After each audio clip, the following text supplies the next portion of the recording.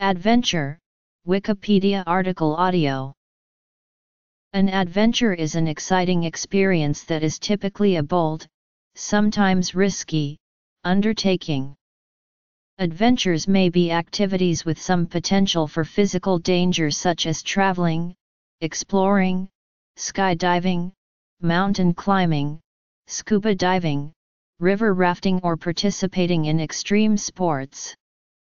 The term also broadly refers to any enterprise that is potentially fraught with physical, financial, or psychological risk, such as a business venture, or other major life undertakings.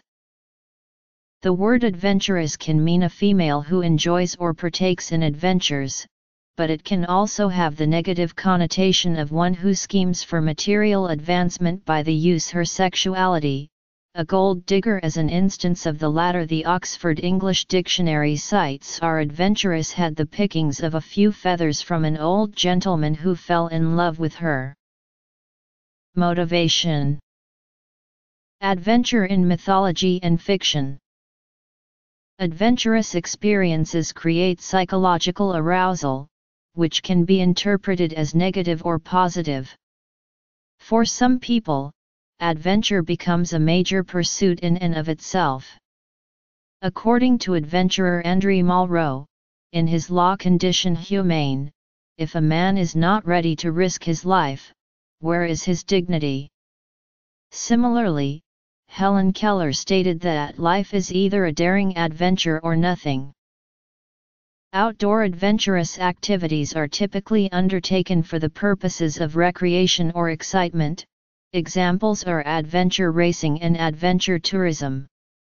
Adventurous activities can also lead to gains in knowledge, such as those undertaken by explorers and pioneers. The British adventurer Jason Lewis, for example, uses adventures to draw global sustainability lessons from living within finite environmental constraints on expeditions to share with school children. Adventure education intentionally uses challenging experiences for learning. Some of the oldest and most widespread stories in the world are stories of adventure such as Homer's The Odyssey. The knight-errant was the form the adventure-seeker character took in the late Middle Ages. The adventure novel exhibits these protagonist on adventurous journey characteristics as do many popular feature films, such as Star Wars and Raiders of the Lost Ark. Outdoors Adventure books may have the theme of the hero or main character going to face the wilderness or Mother Nature. Examples include books such as Hatchet or My Side of the Mountain. These books are less about questing, such as in mythology or other adventure novels, but more about surviving on their own, living off the land, gaining new experiences, and becoming closer to the natural world. Many adventures are based on the idea of a quest, the hero goes off in pursuit of a reward, whether it be a skill, prize, or perhaps the safety of a person. On the way, the hero must overcome various obstacles. Mythologist Joseph Campbell discussed his notion of the monomyth in his book, The Hero with a Thousand Faces.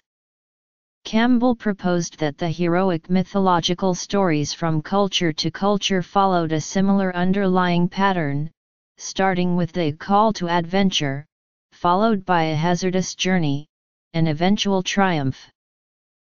Questing Many video games are adventure games. From ancient times, travelers and explorers have written about their adventures. Journals which became bestsellers in their day were written, such as Marco Polo's journal The Travels of Marco Polo or Mark Twain's Roughing It.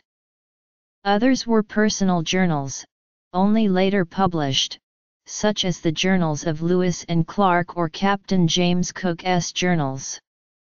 There are also books written by those not directly a part of the adventure in question, such as The Right Stuff by Tom Wolfe, or books written by those participating in the adventure but in a format other than that of a journal, such as Conquistadors of the Useless by Lionel Terray.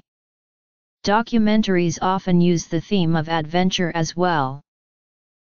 There are many sports classified as adventure sports, due to their inherent danger and excitement. Some of these include mountain climbing, skydiving, or other extreme sports. Video games Adventure in non-fiction Adventure sports